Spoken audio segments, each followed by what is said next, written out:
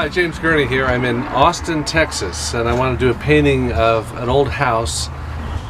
And what I like about this house is the fact that uh, it's nicely lit and I can sort of capture just some of the details of the roof and the trees around it. I'm going to start with a uh, pencil drawing to work out the perspective and then start right in with some dark colors on the uh, porch I've uh, laid in some color across the sky and uh, now I can work in with dry brush to do the trees uh, and saving some of the last details like the uh, the details of the grass and the wires for the later part of the picture.